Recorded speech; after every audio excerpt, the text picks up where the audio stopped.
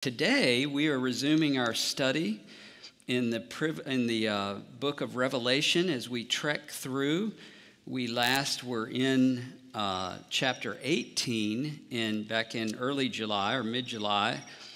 And so, uh, if you were here then, you might remember, or if you've read it recently, you might remember that God showed us there a, a drastic judgment upon that he has and will bring upon a culture, a world system in outright rebellion against him. In chapter 17, we saw God depict this world system as a prostitute that in every generation seeks to create a counterfeit God, uh, I'm sorry, a counterfeit city of God on the earth. And symbolically, the Lord calls that culture, that counterfeit city, Babylon.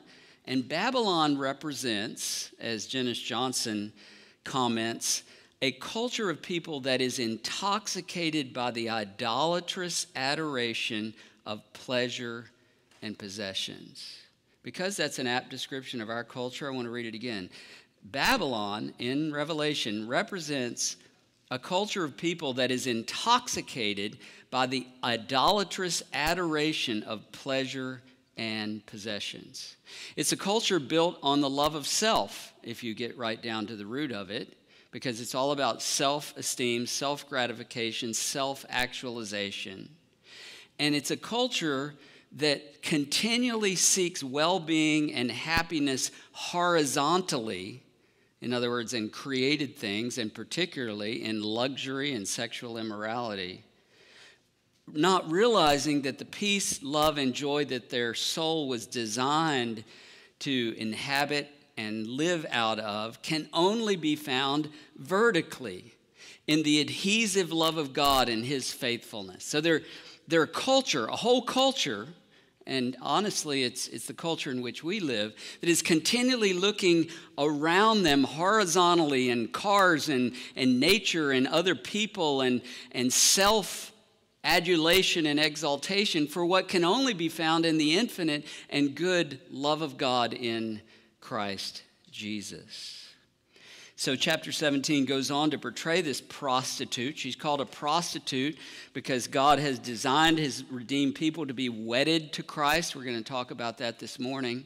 And she is a whore that allures God's people away from their devotion and, and uh, loyalty to Jesus to go after the things that their flesh wants to chase.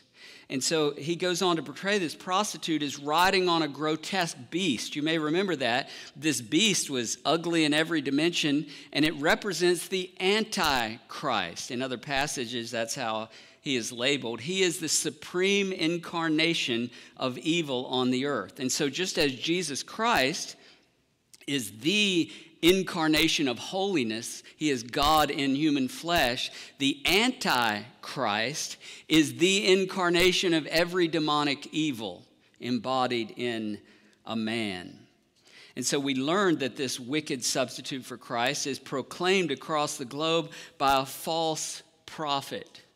And so you've got this evil triad, just like we have the holy triad of Father, Son, and Holy Spirit, this evil triad of the beast and the, the prostitute and the false prophet, all against Jesus and his mission in the world. And so in Revelation 18, God declared her doom, and her chief crime was that she hated and murdered those who follow and obey Jesus. And so, for those, reckon, those reasons, God continually and is still calling today, instead of gradually becoming like the culture, and instead of gradually kind of absorbing their values as your own, to come out of her, lest you take part in her judgment. Because God promises to pay her back double for her sins, to give her an eternal measure of tor- torment and mourning he will lay waste the great wealth and power in which she trusts. All this is from chapter 18.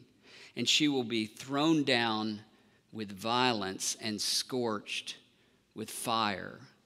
The smoke from her will go up forever and ever. Picture Sodom and Gomorrah as, as God's people were, were called out of her and the, they turned, they, they, as they looked back, they could see the smoke from her going up God had scorched her evil. That's what God says is going to happen to Babylon. At various points in church history, and particularly in certain regions of the world, this intense spiritual war between Babylon and, and Jesus and his people can sometimes be discouraging. It, it almost feels like evil is winning. You ever feel that way? I, I believe the Apostle John probably felt some degree of that loss, if you will, as he sat on the Isle of Patmos in exile for his Christian faith.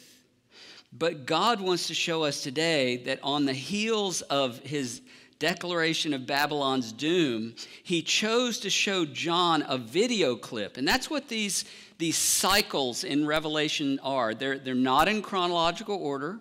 They are video clips or slideshows, if you will, snapshots of various periods in God's redemptive history. We looked already back in chapter 7 at this final day of the Lord that we're going to look at in, in the first half of Revelation 19. And God, in His wisdom, puts it right on the heels of all this doom that He has declared for wicked Babylon.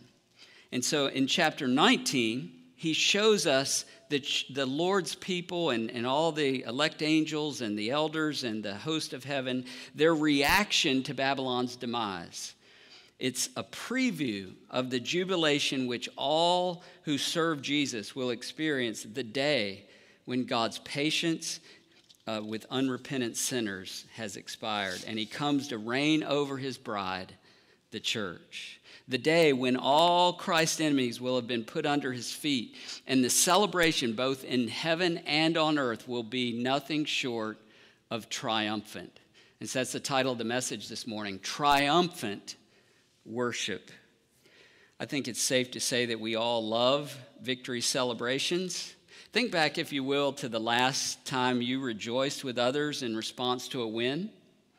Maybe it was after a, your sport favorite sports team defeated their rival.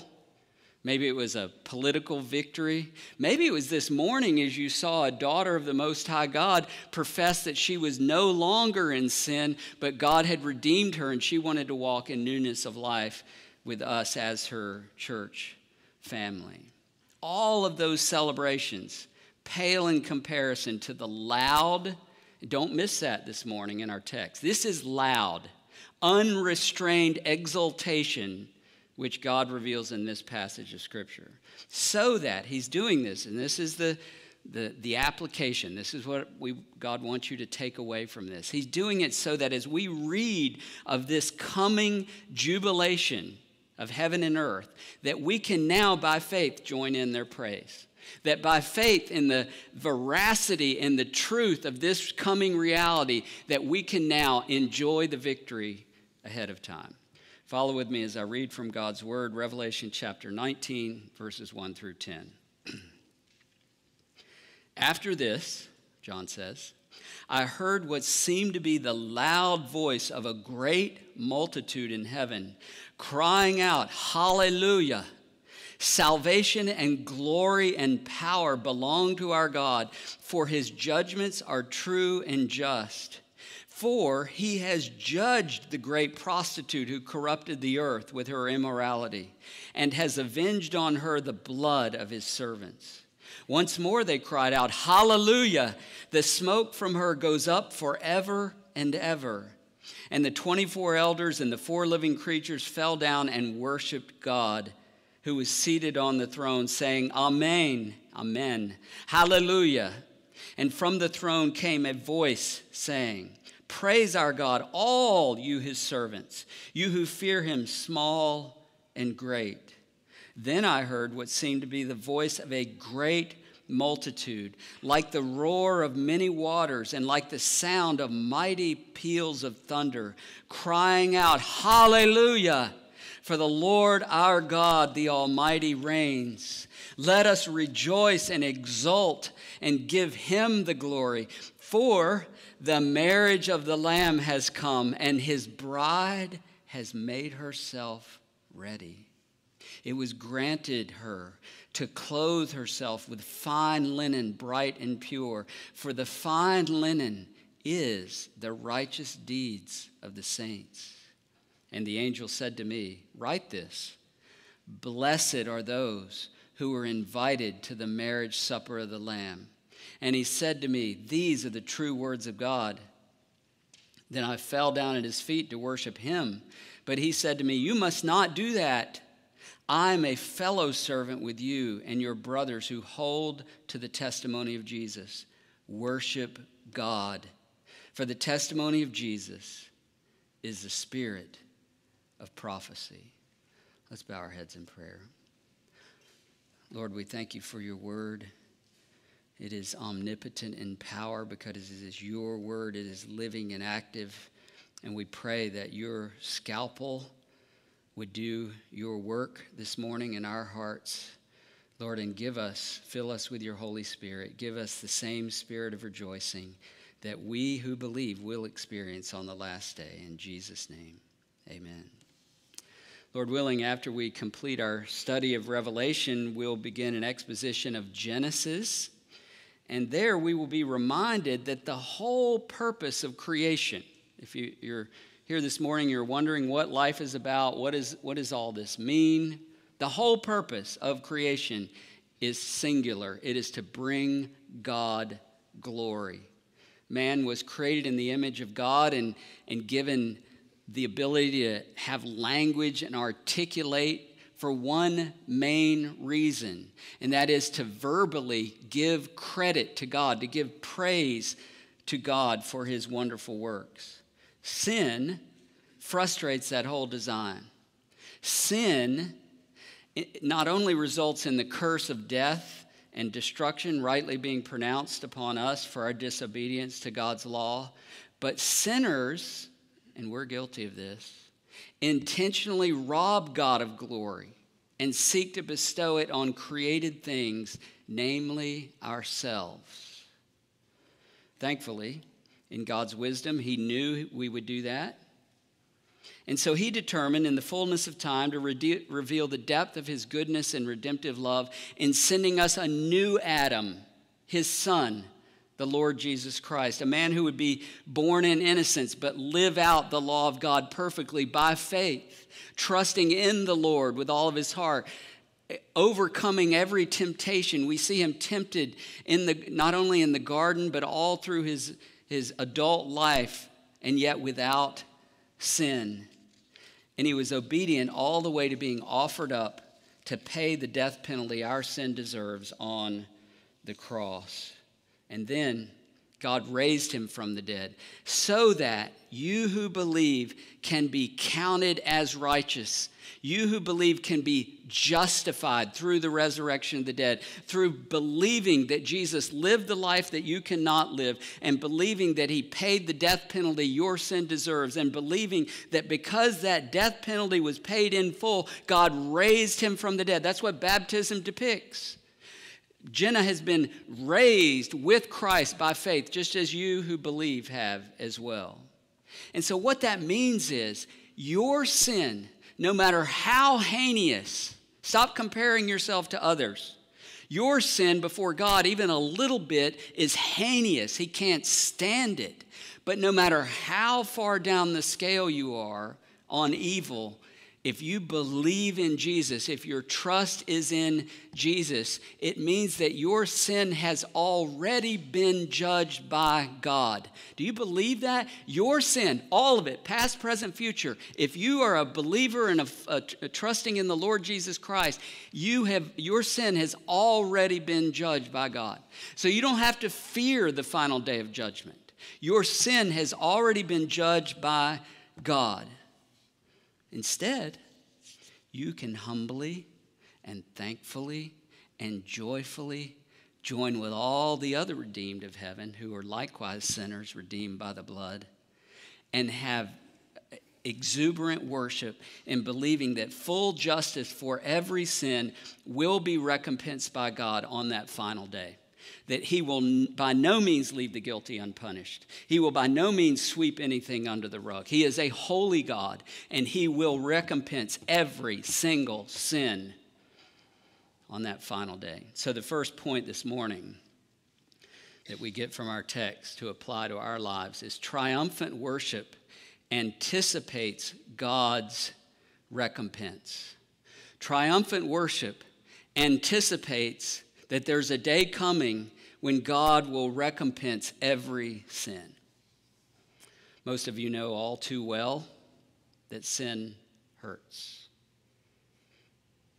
It not only slanders God, but it damages everything around us, everything horizontally as well. No doubt many of you, even now, even this morning, as you sit here, dealing with the pain of others sinning against you. It's real. The call today, listen, instead of you giving in to the carnal tendency to get even against that person or those people who've sinned against you, or to bury it emotionally and live your life as a victim, instead of that, God is calling you to believe that the God who cannot lie will fully recompense every evil done upon the earth, including those done to you. He alone is in that rightful position to execute righteous judgment because not only does he hate sin more than you do, not only is he grieved by sin more than you are, but he knows the thoughts and intentions of every heart behind the sin even before it's committed. And so he alone is able and rightfully the one to judge all sin. That's why Paul says, therefore, in 1 Corinthians 5, do not pronounce judgment before the time, before the Lord comes, the righteous one, who will bring to light the things now hidden in darkness and will disclose the purposes of the heart. See, that's where sin starts in our hearts. God knows it all already, and He will bring it into the light so that judgment can be pronounced. What is evil can be burned up, and what is through faith can remain. God goes on through Paul to authoritatively, authoritatively command in Romans 12 19, Beloved, never avenge yourself you're not good enough to judge. I'm not good enough to judge. God alone is. Never avenge yourselves, but leave it, leave it to the wrath of God. For it is written, Vengeance is mine, mine. I own it. I'm the only one capable of executing it. I will repay, says the Lord. Can you believe that today? Can you find grace to apply that to the the pain that you've suffered from sin, both your own sin. Some of you beat yourself up day after day over mistakes you've made. Can you release that into God's hands, the, the holy and righteous judge? Can you surrender any and all harbored hurt, even resentment, that you have sinfully stored up in your heart? Every wrong that you've taken into account and revisited day by day? Can you release that into God's court of law to adjudicate?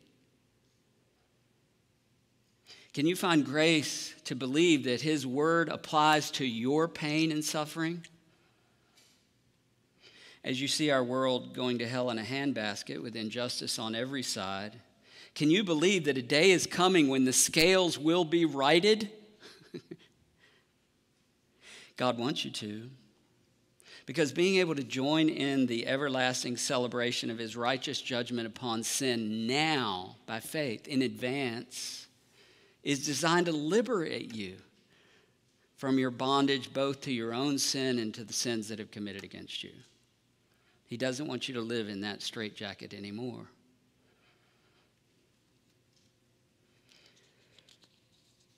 Look at verses 1 and 2 again.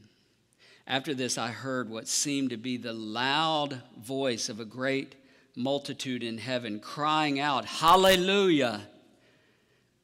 Salvation and glory and power belong to our God, for his judgments are true and just. hallelujah means praise Yah. Hallelujah. Praise Yah. Yah is short for God's name, Yahweh.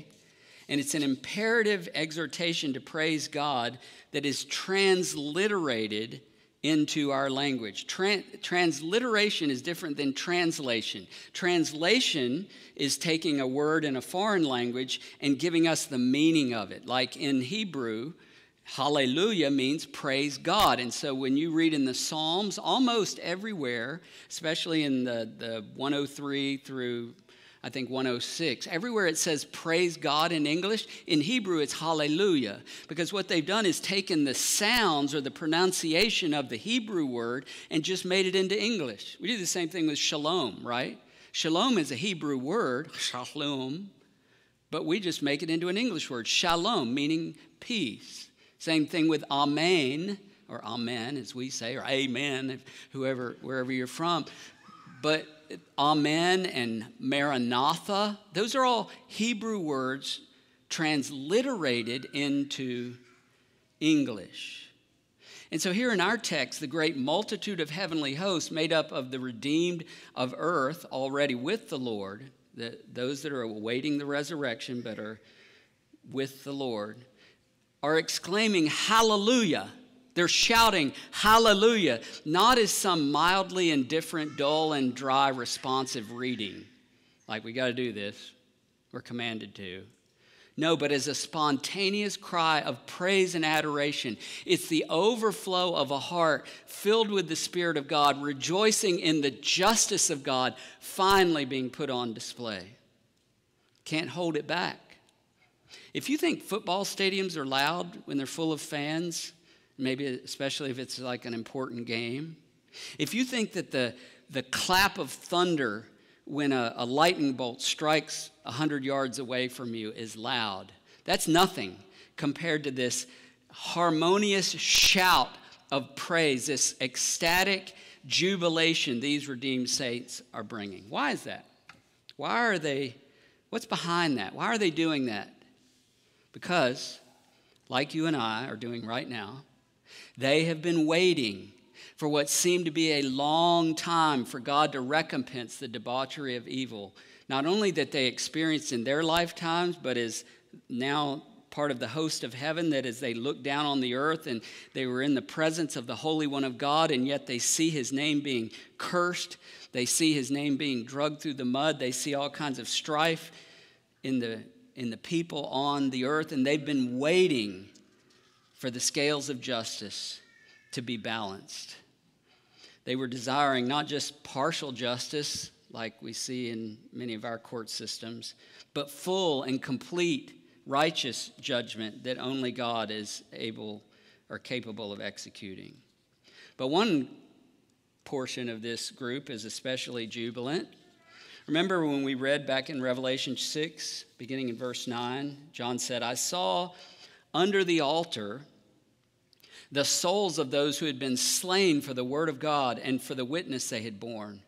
They cried out with a loud voice, O sovereign Lord, holy and true, how long before you will judge and avenge our blood on those who dwell on the earth?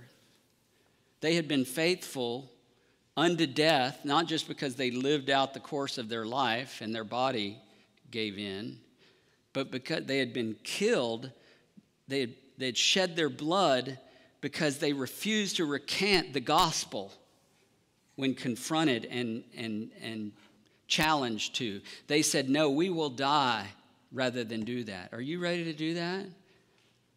It may be coming in our culture. It's not hyperbole. They had done that.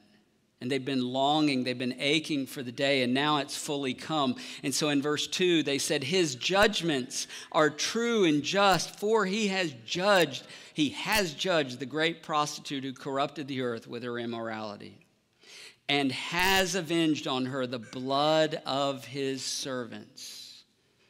Once more they cried out, Hallelujah! The smoke from her goes up forever and ever. Back in Edom, all the way, all the way, as I said, back to Sodom and Gomorrah, you see this image of smoke smoldering from the ruins, going up as a testament of God's righteous judgment.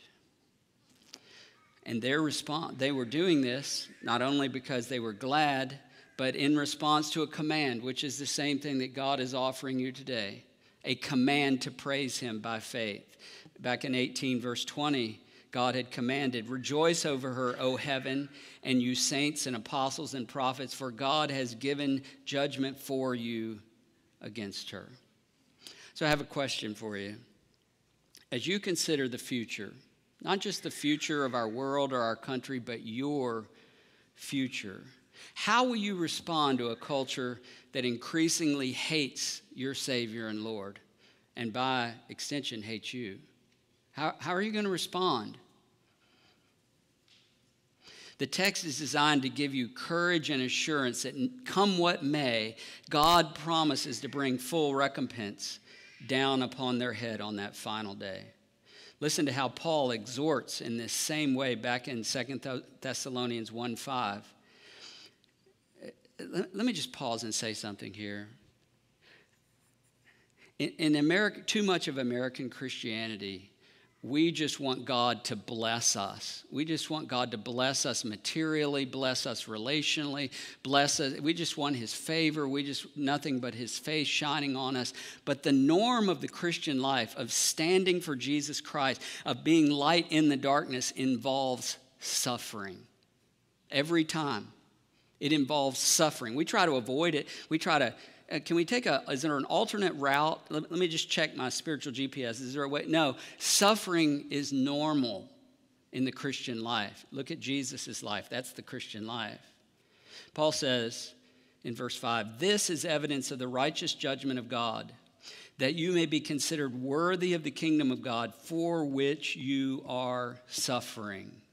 Since indeed God considers it just to repay with affliction those who afflict you, and to grant relief to you who are afflicted, as well as to us, when? When the Lord Jesus is revealed from heaven with his mighty angels, in flaming fire, inflicting vengeance on those who do not know God and on those who do not obey the gospel of the, our Lord Jesus. They will suffer the punishment of eternal destruction away from the presence of the Lord and from the glory of his might when he comes on that day to be glorified in his saints and to be marveled at among all who have believed, because our testimony to you was believed.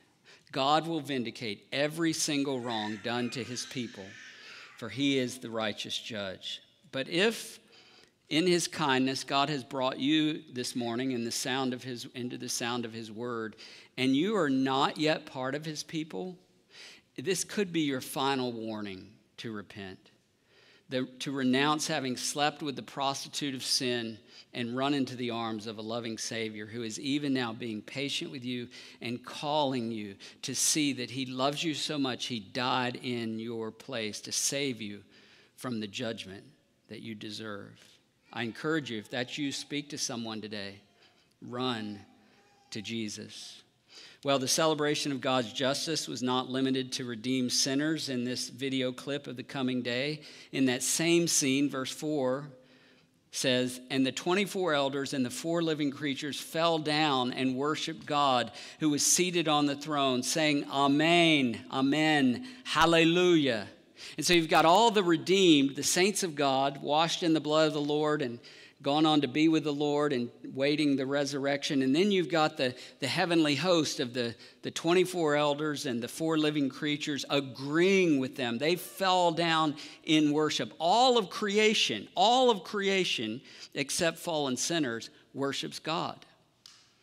That's the core essence of being a part of God's creation is to give him glory. And so they said, Amen, hallelujah.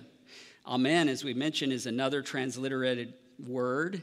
In English, it means let it be so, or so be it. Or to put it in simpler terms, maybe that is very true. And so it's quite fitting for you who believe to verbally respond to truth that way whether it's in a sermon or in a song or, or just in a conversation, you hear God's truth being spoken, to resonate with that truth verbally, to say, Amen. That's true. That there's something about you verbally articulating an agreement with that that not only pierces the darkness, it not only connects you to the veracity of that truth in a way that being silent cannot, but it also encourages those around you to take to heart, just like you are, the truth of God that's being spoken. Amen. Can we say it together? Amen. One more time. Amen. Thank you. Verse 5. And from the throne, a voice, so this is singular voice, came saying, Praise our God, all you his servants, you who fear him, small and great. So you've got a, a great multitude of redeemed sinners, a, a, a, multitude of heavenly hosts. They're all now bowing down to the Lord in heaven. And now an angel from the throne, like a choir master, directs the saints on earth to also praise our God, all you his servants, you who fear him, small and great. And so he says, Now praise him. Listen to how triumphantly all God's people obeyed that command from the throne. Verse 6 Then I heard what seemed to be the voice of a great multitude. Remember, all this is a vision. John is in a trance, if you will, with God's pure revelation coming to him both in video and in audible means. Then I heard the, what seemed to be the voice of a great multitude, like the roar of many waters, like the sound of mighty peals of thunder, crying out. John, in another video clip of this same scene, in, a, in another cycle, as I told you in Revelation 7, he saw this, and there he described this great multitude as so large that no one can number them redeemed people from every tribe and tongue and nation and language. And here he further describes their cries and essentially says if you think Niagara Falls is loud, if you think thunder is loud, it pay, it is deafening. All, imagine all of those decibels being channeled into one harmonious, love filled shout to the Lord. Hallelujah! For the Lord our God, the Almighty, reigns. Well, all of this jubilation was not just because perfect justice has been executed, it, it was even more because now their Lord has come to reign over all of his people. Look at verse 7. These are the redeemed of the earth. Let us rejoice and exult and give him the glory, for the marriage of the Lamb has come, and his bride has made herself ready. You may know that there was a a wedding here at the church yesterday, and is often the case, the, the family of the bride, especially, but I'm sure the groom too, made a lot of preparations, put a lot of work into getting ready for the marriage. But all of our wedding preparations pale in comparison to how the Hebrews conducted a marriage. Their process was far more extensive. First of all, the first stage, you had the betrothal, which was like an engagement a formal engagement, but it's far more serious and far more formal than ours. In, in, in, our culture, if, if a man and a woman are engaged to be married and, and something happens, uh, it can be easily broken off. Not so in Hebrew culture. They, they were the, once the couple was betrothed, it was just as binding as the consummation of the marriage itself. You remember, we saw that with, with Mary and Joseph, right? They were betrothed to one another, and it was suspected because the Holy Spirit had come on Mary and, and caused her to be pregnant with the Son of God. It was suspected that maybe she had committed immorality, and Joseph, his only choice was either to stay faithful to her or he would have had to get a divorce, and they were only engaged, they were betrothed. William Hendriksen comments about this betrothal. The terms of the marriage are accepted in the presence of witnesses, namely family, and God's blessing is pronounced on their union. From that day forward, the bride and groom are legally married. Child of God, that's what you are right now before the Lord Jesus Christ. You are, through your profession of faith, having received the gospel and saying that you believe it and been baptized publicly as a, as a profession of that union, you are formally betrothed to your Savior. You are legally bound in the judgment court of God to Christ. You bear his name. You, he has made you the temple of his own spirit. He has come into you. You are betrothed to Christ, and we're awaiting, which we're going to get to in a couple chapters, the great wedding feast of the Lamb when He not only comes, but we enjoy His presence together, and there is an eternal celebration. Your dowry has already been paid in full by Him on the cross. Paid in full. You are joined to Christ by faith. Paul understood that. That's why he said to the Corinthians that were struggling with some sin and disagreements in 2 Corinthians 11 2. For I feel a divine jealousy for you, since I betrothed you to one husband to present you as a pure virgin to Christ. And so when the bridegroom comes to take us to his home, that's what happened in the Hebrew wedding. After a, a period of time, when the, the, the wedding feast was ready, the bridegroom would come and he would take the bride to be by his side and he would take her to his home, to his home. They didn't go to her home, they went to his home and they dwelled as husband and wife and consummated the marriage. When Jesus comes to take us to his home, there's going to be that great wedding feast, and we will be forever one with our Savior as members of His body. We, we want to live like that by faith now. That we're already attached to our head, and we are His hands and feet. We are His mouth and ears. We are His fingers and toes. We are His body here on earth. But on that day, the great wedding feast of the Lamb, we will share in his glory. Do you believe that? Just as husband and wife are no longer two, but one flesh, we will share in the beautiful splendor of Christ himself. There, there will be a communion of glory. He, he said, Jesus prayed this for us in, in John 17. Listen to what he prayed. Remember, he's getting ready to go to the cross, and he's praying to the Father, and he says, Lord, the glory that you have given me, I've given to them. we don't deserve that, in case you weren't noticing. That they may be one even as we are one. I in them and you in me. That they may become, it's a process, perfectly one. So that the world may know that you sent me and love them even as you love me.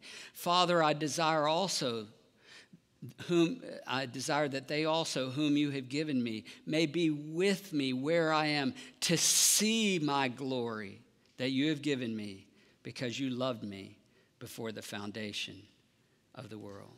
If you believe that, that day of our homecoming is, is on its way, that our Savior is coming for his bride, I have another question for you. If you believe that, what are you doing to prepare? Remember all these wedding preparations. When the, when the Hebrews were, were preparing for a wedding, it, it was a, even a betrothal, but especially the, the, the period in between getting ready for the wedding feast, there was joy and laughter. They were just excited. You can picture it to, to think about that day and how wonderful it was going to be. And our second point of application is that triumphant worship prepares us for the wedding. The period, uh, the, the, the wedding feast of the Lamb in Hebrew culture was a seven to 10 day event.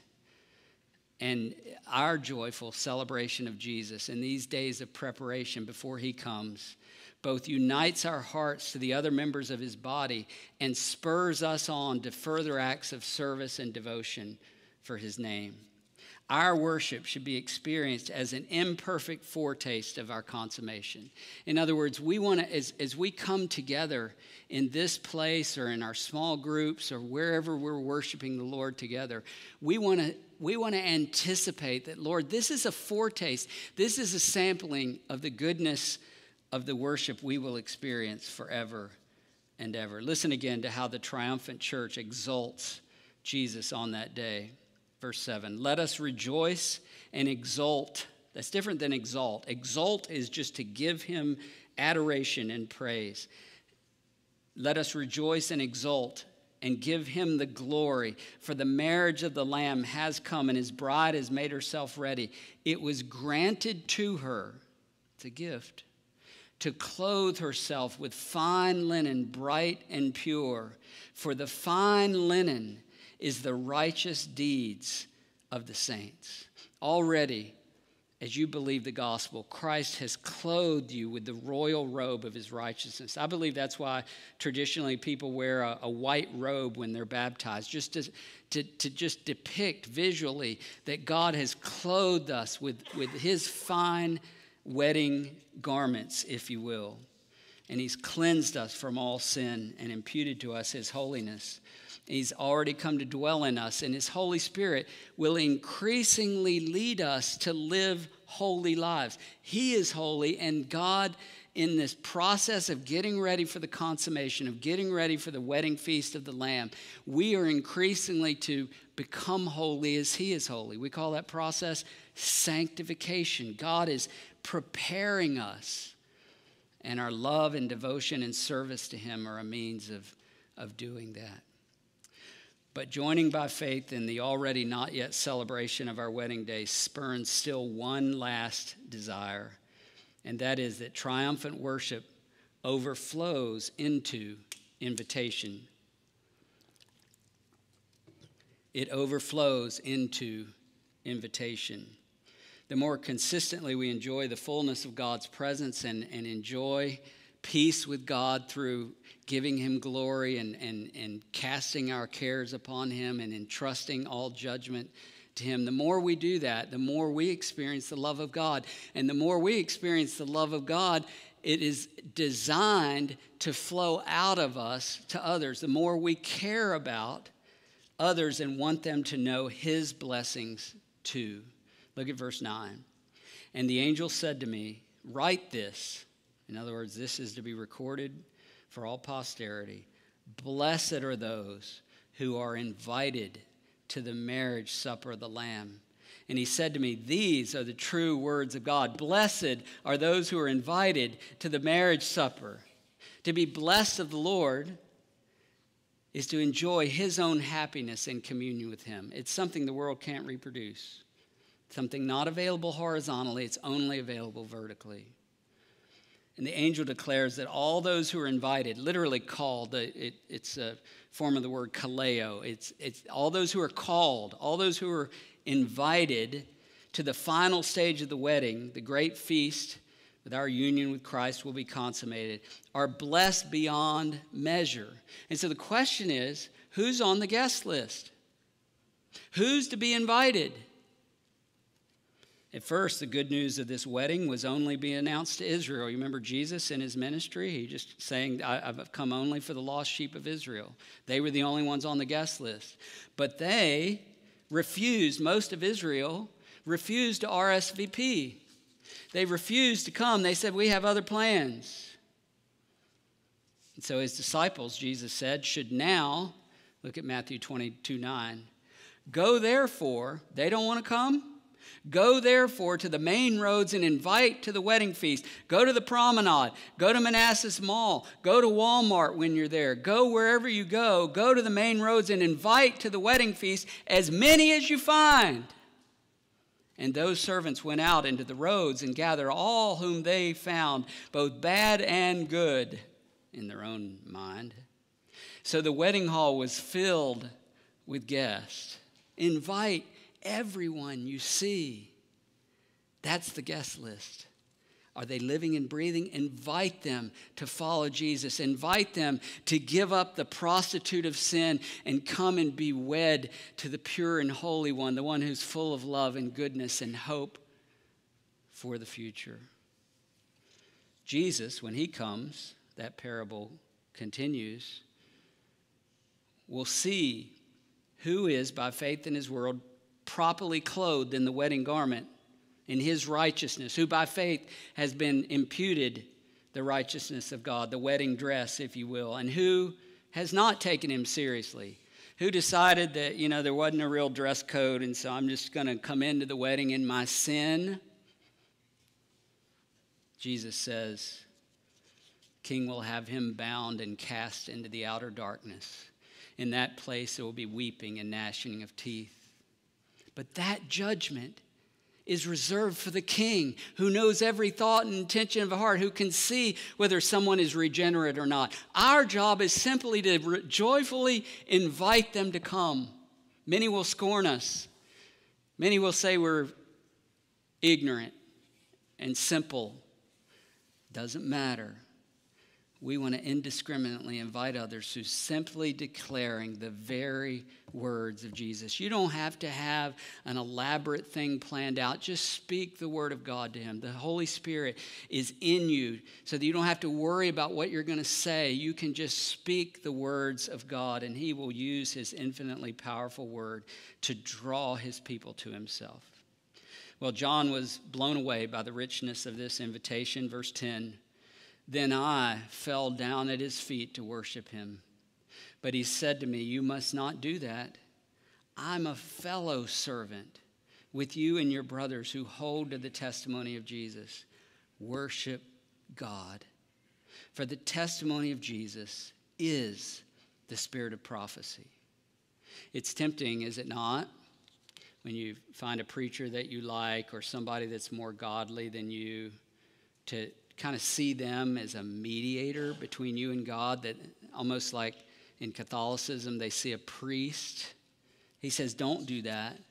There's only one mediator between man and God. That's the Lord Jesus Christ. And He sent His Spirit into you so that you're now the priest. Imperfect as we are, we are in union with Jesus. He alone deserves triumphant worship. And by his Holy Spirit, he's given us power to invite the lost to his wedding feast. That's the plea for each of you today. No amount of sin is beyond the power of Christ's blood to, to cleanse you.